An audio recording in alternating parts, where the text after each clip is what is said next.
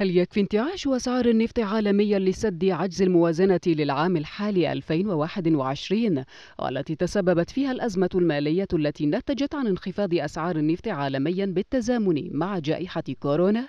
الجواب يحدده ملف الفساد المستشري وتأثيره على خطط الدولة بتجاوز الأزمة المالية وبينما يرى مستشار رئيس الوزراء مظهر محمد صالح إنه في حال زيادة الفوائد بنسبة كبيرة فإنه من الممكن الذهاب لموازنة تكميلية تلبي احتياجات الشعب.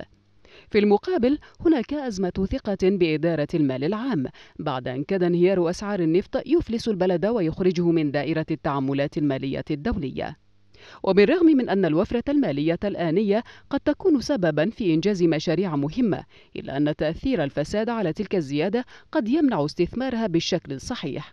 الارتفاع في أسعار النفط قياسا إلى ما تم تثبيته في الموازنة بنحو 26 دولارا ربما سيذهب إلى جيوب الأحزاب من أجل تمويل حملاتها الانتخابية التي انطلقت مبكرا وقبل أربعة أشهر عن بديها زيادة أسعار النفط عالميا قد تسهم في تجاوز عجز ميزانية العراق للسنة الحالية والمقبلة ويمكن أن توجه الحكومة الوفرة المالية لإصلاح مخلفات السنين الماضية من خلال وضع آلية تنفيذ واردات العجز.